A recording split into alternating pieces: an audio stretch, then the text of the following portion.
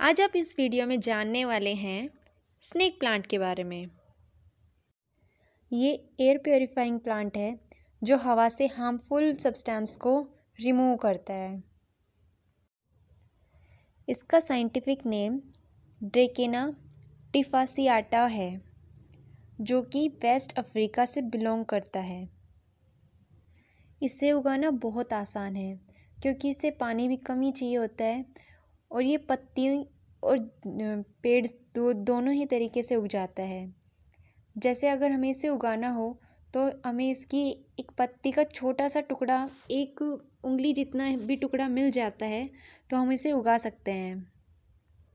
इसकी एक लंबी सी पत्ती लें और उसको दो से तीन हिस्सों में काट दें और फिर इसे मिट्टी को, मिट्टी में उगा दें तो ये थोड़े से दिन के इंतज़ार के बाद उगने लगेगा।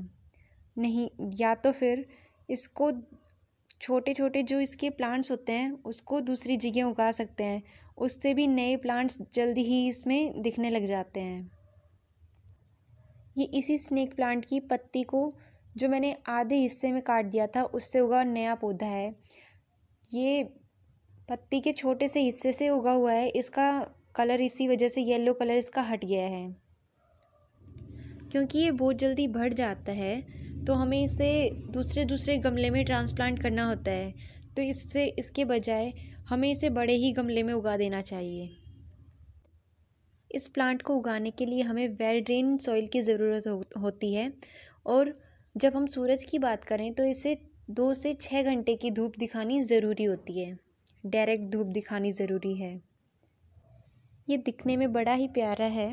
तो हम इसे होम डेकोरेट हम होम डेकोर प्लांट की तरह भी यूज़ कर सकते हैं। क्या आप स्नेक प्लांट की इस बात के बारे में जानते हैं कि इसे नासा ने रिकमेंड किया है एयर प्योरीफाइंग प्लांट के रूप में? ये हवा से जहरीले सब्सटेंस को निकालकर हवा को साफ़ करने में मदद करता है। और हवा से कार्बन डाइऑक्साइड को रात में भी एब्जॉर्ब करता है। जनरली दूसरे प्लांट रात को सी ओ टू को एब्जॉर्ब नहीं करते, पर ये प्लांट करता है।